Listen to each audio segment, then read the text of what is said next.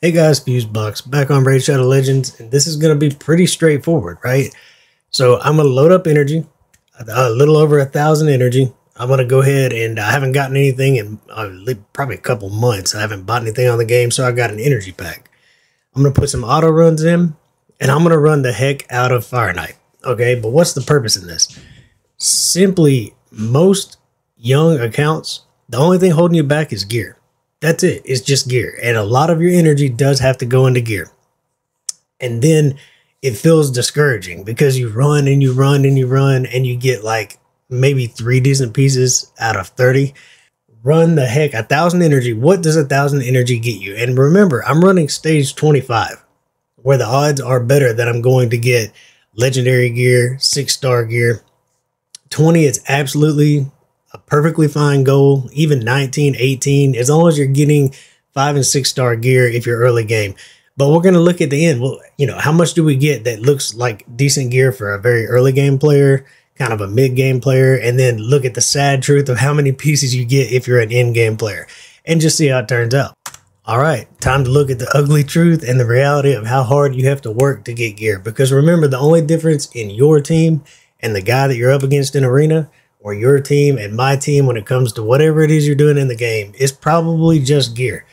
Uh, you're going to get champions over time. Don't don't rush into that. Uh, but if you're ever going to spend money and time on this game, invest it into energy, whether that's through gems or energy packs. Uh, even chickens will buy you progress, right? But shards are going to break your heart. So people who want to low spend, get themselves something every month. That's about what I do uh, this is kind of where you want to be doing it, and you'll probably see why by the end of this. So I'm going to save all five and six star gear so we can look through it at the end. We'll have a little bit of fun along the way, but we're going to race to the end and see what we land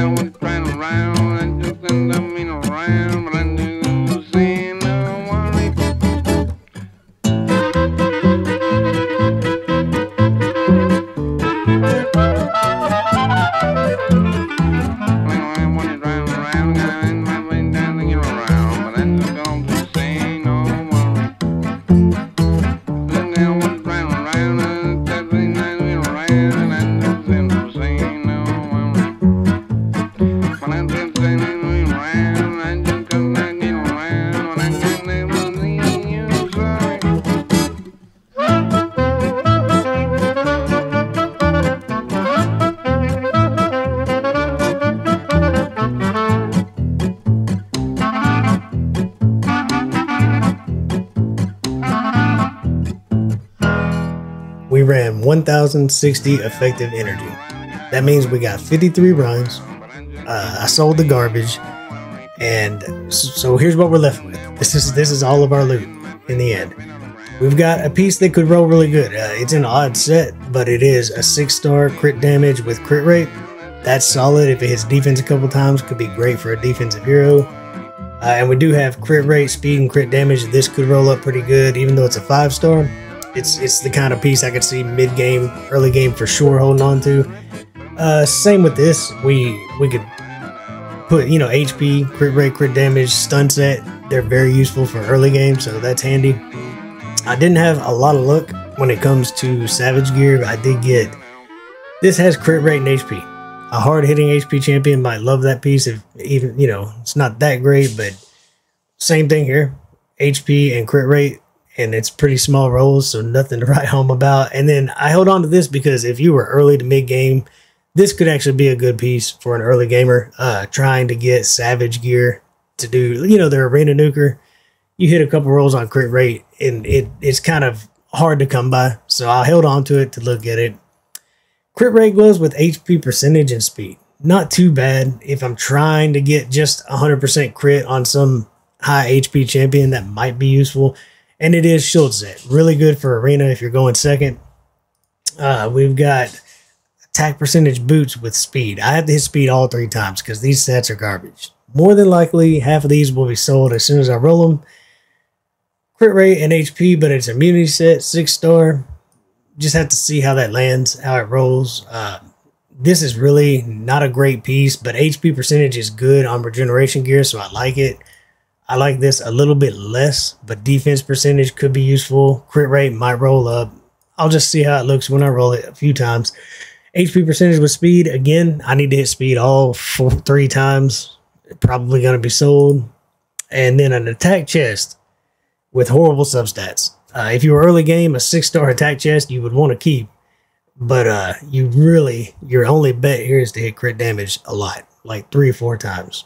Maybe I mean it's an odd piece.